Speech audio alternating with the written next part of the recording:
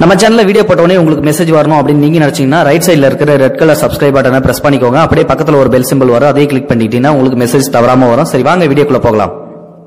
இப்போ நான் சொல்ல போகிற பதிவு ஒரு இடத்துல உண்மையிலுமே நடந்த நிகழ்வு. இந்த நிகழ்வு வந்து பார்த்திங்கன்னா உண்மையிலுமே நம்மளோட உணர்ச்சியை வந்து அவ்வளோ பொங்க வச்சிரும் அப்படின்னு சொல்லி சொல்லலாம். அப்படி ஒரு நிகழ்வு. ஒரு கணவன் மனைவி வாழ்ந்து வந்துட்டு இருக்காங்க. மனைவியோட பெயர் பிரியா வயது இருபத்தி எட்டு. அவரோட கணவருக்கு ஒரு முப்பது முப்பத்தி ரெண்டு வயசு வரும். நாலு அஞ்சு வருஷம் வித்தியாசம் இருக்கும் அவங்களுக்கு. இந்த மாதிரி அவங்களுக்கு ரெண்டு குழந்தைங்க இருக்குது. பெண் பிள்ளைங்க தான். ரெண்டையுமே கட்டி கொடுத்து நல்ல இடத்துல வாழ வைக்கணுன்றது தான் அவங்களோட எய்மு. இதுக்காக தான் வந்து அவங்க தினம் கூலி வேலைக்கு அவங்க வீட்டுக்காரர் போயிட்டு வந்துகிட்டு இருக்காரு. இந்த மாதிரி ஒரு டைமில் என்ன பண்ணுறாரு அப்படின்னா பிரியாவோட கணவர் வந்து திடீர்னு இறந்து போயிடுறாரு. இப்போ ரெண்டு பொம்பளை பிள்ளைங்களை வச்சுக்கிட்டு படிக்க வைக்கணும் கட்டி கொடுக்கணும் மெச்சைக்கு என்ன பண்ணுறது அப்படின்னு சொல்லிட்டு பிரியா யோசிக்கிறாங்க. யோசிச்சுட்டு ஒரு டிஃபன் கடை போட்டால் நல்லா இருக்குமே அப்படின்னு சொல்லிட்டு புளிய மரத்துக்கு அடியில் டிஃபன் கடை போட்டுறாங்க பக்கத்து வீட்டு வீட்டுக்கு பக்கத்துலேயே. அப்போ தான் வந்து பார்த்தீங்கன்னா என்ன பண்ணுறது அப்படின்னு சொல்லிட்டு வந்து வியாபாரத்தை கொஞ்சம் கொஞ்சமாக மூவ் பண்ணிகிட்டு இருக்காங்க. கொஞ்சம் கொஞ்சமாக கூட்டமும் வர ஆரம்பிக்குது. அப்போது ஒரு போலீஸ்காரன் திடீர்னு உள்ளே வரான். வந்துட்டு இந்த மாதிரி. ஏம்மா என்ன மிட் நைட் ஆச்சு? கடையை போட்டிருக்க? கடையை சாத்துமா? அப்படின்னு சொல்கிறாங்க இந்த சாத்திரம் சார்னு சொல்லிட்டு பிரியாவும் சொல்கிறாங்க என்ன பண்ணுறது வேற யாராவது இருந்தனா ஹெல்ப் பண்ணுவாங்க. அதனால நம்ம பிரியா சாத்திரம் சார் சாத்திரம் சார்னு சொல்கிறாங்க அந்த போலீஸ்காரனுக்கு பயந்துக்கிட்டு அவனுக்கு சாப்பாடும் கொடுக்குறாங்க. உடனே தோசை சாப்பாடு அது இதுன்னு வாங்கி சாப்பிட்றான். காசு எதுவுமே கொடுக்கல. போகும்போது பார்சலும் கட்டிட்டு போகிறான் அதுக்கப்புறம் அந்த போலீஸ்காரன் டெய்லி வந்து அதே மாதிரியே பிரியாவை மிரட்டி மிரட்டி ஓசியிலே சாப்பாடு சாப்பிட்டு பார்சலும் வாங்கிட்டு போயிட்டு இருக்கான் பிரியா மனசுக்குள்ள நினைக்கிறது என்னன்னா காசு கொடுத்து சாப்பிட்றவங்க இன்னும் ஒரு தோசை வாங்கி எக்ஸ்ட்ரா சாப்பிட்டா கூட நமக்கு ஏதாவது வந்து மிச்சம் பிடிக்கலாம். அதை வச்சு நம்ம குழந்தைங்கள வந்து படிக்க வைக்கலாம் நல்ல இடத்துல கட்டி கொடுக்கலாம். ஆனா இந்த போலீஸ்காரன் இப்படி பண்றானே இவன் சாப்பிட்றதே வந்து நம்ம பாதி காசை அழிச்சு போடுவானாட்டுக்கு அப்படின்னு சொல்லிட்டு மனசுக்குள்ள இவன் எப்பதான் சாப்பிட்டு முடிப்பானோ இவன் ஒரு தோசை கம்மியா சாப்பிட்டா நல்லா இருக்குமோ அப்படின்னு சொல்லிட்டு பிரியா மனசுக்குள்ளே யோசிச்சு யோசிச்சு தினம் தினம் அந்த போலீஸ்காரனுக்கு இந்த மாதிரி டிஃபனை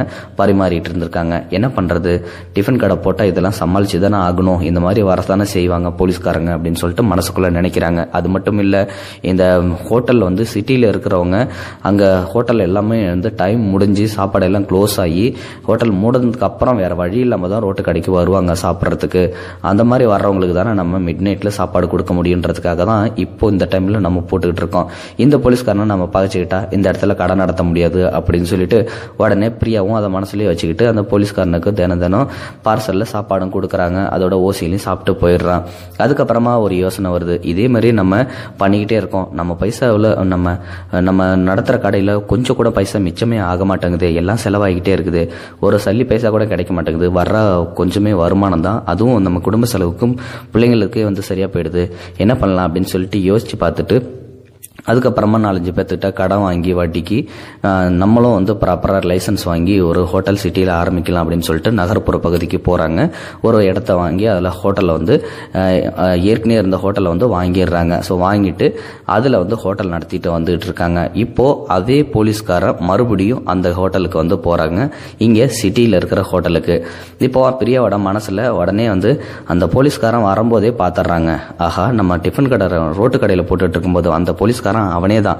இன்னைக்கு வரட்டும் இன்னைக்கு சாப்பிட்டுட்டு பில்லு எடுத்து வைடான்னு சொல்லிட்டு கேட்குறேன் பாரு என் மனசுக்குள்ள இருக்கிற எல்லா வெறியும். இப்போ ப்ராப்பராக லைசன்ஸ் வாங்கி கடை நடத்திட்டு இருக்கான். இந்த டைமில் வந்து அவன் எதுவும் செய்ய முடியாது அப்படின்னு சொல்லிட்டு வந்து யோசிச்சுட்டு இருக்காங்க. வந்த போலீஸ்காரர் உள்ளே வந்து சாப்பிடாம ஒரு கவரை பிரியாவோட கையில் கொடுக்குறாரு. அந்த கவரில் கொஞ்சம் காசு இருக்குது. அந்த காசு எவ்வளோ அப்படின்னு சொல்லிட்டு பார்த்தீங்கன்னா ரெண்டு லட்சத்து நாற்பதனாயிரம் இருக்குது. என்னங்க காசு கொடுக்குறீங்க? அப்படின்னு சொல்லிட்டு பிரியா கேட்குறாங்க இவ்வளோ நாள் நான் உங்ககிட்ட அந்த ரோட்டு கடையில் சாப்பிட்டதுக்கான காசுமா அப்படின்றாங்க. என்ன சார் சொல்கிறீங்க ஆமாம்மா நான் வேற யாரும் இல்லை. உன் கணவரோட ஃப்ரெண்டு தான். உன் கணவனும் நானும் ரொம்ப பாலியல் ஸ்நேக ரொம்ப நாளாக நானும் அவனும் வந்து ஃப்ரெண்ட்ஷிப் தான். பட் உனக்கு வந்து தெரியாது எங்களோட ஃப்ரெண்ட்ஷிப்பை பற்றி நான் உங்ககிட்ட அந்த வரைக்கும் வந்ததும் இல்லை. என்னை பற்றி அந்த அனுபவமும் உனக்கு கொடுத்ததில்ல. அதனால தான் வந்து என்னை பற்றி தெரியாமலே போயிடுச்சு.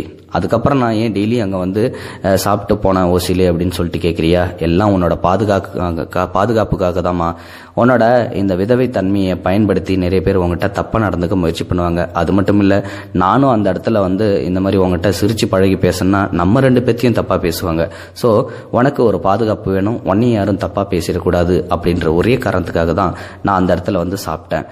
அப்படின்னு எல்லா உண்மையும் வந்து சொல்றாங்க. இப்போ பிரியாவுக்கு சந்தோஷத்துக்கு அளவே இல்லை. என்னடா அது நம்ம வீட்டுக்காரரோட ஃப்ரெண்டு இவ்வளோ பாதுகாப்பு நமக்கு வந்து கொடுக்கறதுக்காக தினம் தினம் வந்து நைட்டில் மிட் நைட்டில் சாப்பாடு சாப்பிட்டுட்டு ஓசியில் வாங்கிட்டு திருப்ப இப்போ காசை வந்து கொடுக்குறாரு அப்படின்னு சொல்லிட்டு அண்ணன் நீங்கள் உள்ளே வாங்கினேன் சாப்பிடுங்கண்ணே அப்படின்னு சொல்லிட்டு கையை பிடிச்சி உள்ளே இழுத்துட்டு போகிறாங்க அதுக்கப்புறம் நிம்மதியாக சாப்பிட்றாங்க.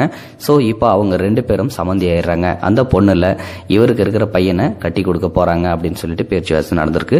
இந்த சம்பவம் உண்மையிலுமே ஒரு நடந்த சம்பவம். ஸோ இந்த சம்பவத்திலிருந்து உங்களுக்கு என்ன கருத்தை நீங்கள் தெரிஞ்சுக்கிட்டீங்க அப்படின்றத மறக்காமல் கமெண்ட் பாக்ஸில் போஸ்ட் பண்ணுங்கள் இந்த வீடியோ பார்த்துருந்தா இந்த வீடியோ பிடிச்சிருந்தா லைக் பண்ணுங்க ஷேர் பண்ணுங்க. நன்றி வணக்கம்.